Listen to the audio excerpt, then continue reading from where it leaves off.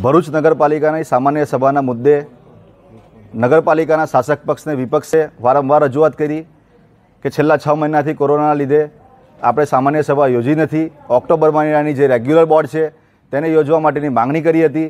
વારંવાર શાસક પક્ષ દ્વારા બી વિપક્ષના સભ્યોને ફોન કરીને સર્ક્યુલર ઠરાવવા માટેનું દબાણ કરવામાં આવ્યું. પણ વિપક્ષના સભ્યોએ ખુલ્લી ના પાડી દીધી કે કોઈ સર્ક્યુલર ઠરાવ કરીએ નહીં. જાહેરમાં એને ચર્ચા કરો. સામાન્ય સભા યોજો. શહેરની જનતાના અનેક પ્રશ્નોથી શહેરની જનતા પીડાઈ રહી છે. રોડ રસ્તાના પ્રશ્નો છે, પાણીના પ્રશ્નો છે અને ઘણા બધા એવા પ્રોજેક્ટો છે જે આજે બંધ પડેલા છે. એના માટે વિપક્ષ દ્વારા શહેર નગરપાલિકાના પ્રમુખ અને ચીફ ઓફિસર અને કારોબારી ચેરમેનને આવેદનપત્ર પાઠવી બી રજૂઆત કરવામાં આવી. વિનંતી કરવામાં આવી કે બોતેર કલાકના અંદર આપ નિર્ણય લો અને સામાન્ય સભા યોજવાની તારીખ નક્કી કરો. બોતેર કલાક વીત્યા પછી, અડતાલીસ કલાક પછી આખું નગરપાલિકા પોલીસ છાવણીમાં ફેરવા ફેરવી દેવામાં આવ્યું. નગરપાલિકાના પ્રમુખને આજે જનતાની એટલી બીક છે કે પોલીસને અહીંયા ઊભા રાખીને આજે એમને દબાઈ રહી છે. નગરપાલિકાના વિપક્ષે, શાસક પક્ષે જે બોતેર કલાકનું અલ્ટિમેટમ આપેલું, એ અલ્ટિમેટમ આજે પૂરું થાય છે. અમે જે જનતા સભા કરવાની વાત કરી હતી કે જનતાના મુદ્દા લઈને, જનતાના પ્રશ્નો લઈને જનતા સભા કરીશું અને જનતા સભા યોજીને જે કંઈ બી મુદ્દા છે અમે નગરપાલિકાના શાસક પક્ષ અને ખાસ કરીને ચીફ ઓફિસરને આપીને એમના કામો કરાવવાને પ્રયત્ન કરીશું. એ જનતા સભા માટેનો તારીખ સાત તારીખના શનિવારના રોજ અગિયાર કલાકે નગરપાલિકા ખાતે જનતા સભાનું વિપક્ષ દ્વારા આયોજન કરવામાં આવેલું છે ને ભરૂચની આમ જનતાને, આમ પ્રજાને, શહેરીજનોને અમે અમે આવકારીએ છીએ, આમંત્રણ આપીએ છીએ કે પોતાના જે કંઈ બી પ્રશ્ન હોય, રોડ, રસ્તા, પાણીના અથવા તો વેરાના અથવા તો જે કંઈ બી એમને લાગતા વળગતા નગરપાલિકા ખાતેના પ્રશ્ન હોય, એ પ્રશ્ન લઈને આવે, એ કામકાજ કરાવવા માટે અમે પ્રયત્નશીલ રહીશું અને જનતા સભામાં પધારી આ શાસક પક્ષોને જે અહંકાર છે કે પ્રજા એમની સાથે છે એ અહંકાર દૂર કરવાનો આજે સમય છે. અહીંયા બીજી વાત હતી કે નગરપાલિકાના શાસક પક્ષ દ્વારા અડતાલીસ કલાક વીત્યા પછી કાલે બપોરે ત્રણ વાગે જે રીતે એજન્ડો આપવામાં આવેલો છે સર્ક્યુલર ઠરાવનો, એ સર્ક્યુલર ઠરાવનો એજન્ડો બી અમે સ્વીકારતા નથી. એને અમે રદ કરીએ છીએ અને એ માટેની રજૂઆત અમે મ્યુનિસિપલ કમિશનર સુરત ખાતે રજૂઆત કરવા આજે જઈશું અને એ- એ સર્ક્યુલર ઠરાવ જે ગેરવ્યાજબી છે કેમ કે સર્ક્યુલર ઠરાવની કોઈ એવી જોગવાઈ નથી. સર્ક્યુલર ઠરાવ કરીને કરોડોનું કામ કરીને મંજૂર કરાવીને હિસાબો મંજૂર કરાવીને આજે જે દબાણ કરી રહ્યા છે, પોતાની મનમાની ચલ- ચલાવી રહ્યા છે, તેના અમે સખત શબ્દોમાં વિરોધ કર્યો, કરી રહ્યા છે. આ શાસક પક્ષ જાણી ગયું છે કે હવે છેલ્લી ટર્મ છે, છેલ્લા મહિના છે. પોતે ભ્રષ્ટાચારની બેટિંગ કેવી રીતે કરવી? અહીંયા જો સામાન્ય સભા યોજાય તો ભ્રષ્ટાચારની બેટિંગ કરવા ન ન મળે અને ભ્રષ્ટાચારની જે કંઈ બી એમના કૌભાંડો જે ખુલ્લા પડે, તેની માટે આજે એ સર્ક્યુલર ઠરાવ કરી રહ્યા છે. એનો અમે સખત શબ્દોમાં વિરોધ કરીએ છીએ. બે દિવસ પર વિરોધ પક્ષના નેતા આવેલા, આપ શ્રી મીડિયાના માધ્યમને સાથે રાખીને જ આવેલા.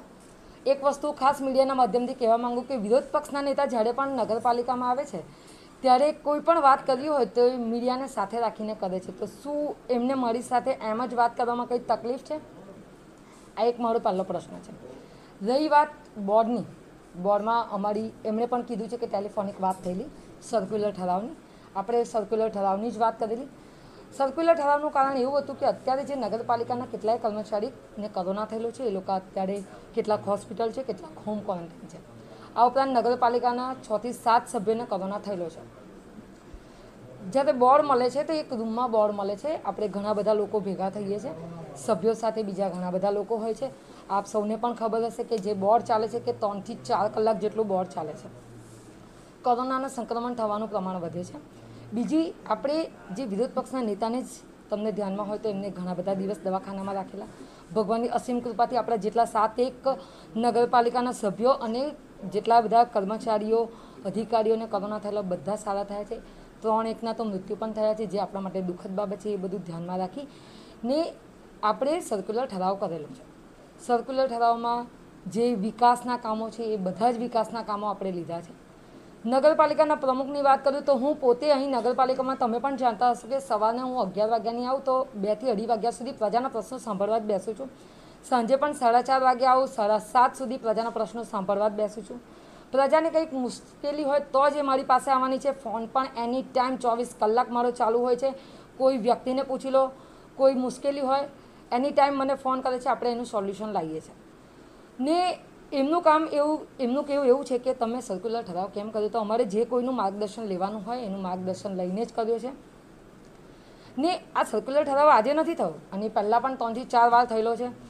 એજન્ડા પણ ત્યારે પણ મળ્યા છે ને ત્યારે એમને પોતે પણ સહી કરેલી છે. આજે જ કંઈક નવી વાત છે.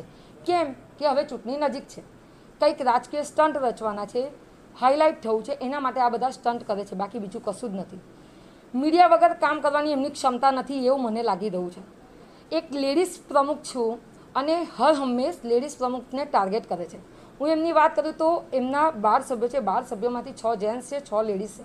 તમે જ કહેજો કે કેટલી એમની બહેનો એમની સાથે હોય છે. એમને ફક્ત ને ફક્ત એક પ્રમુખ ને તે બી મહિલા હોય, એને ટાર્ગેટ કરવાનું એમનું કામ છે. બીજું કોઈ કામ નથી.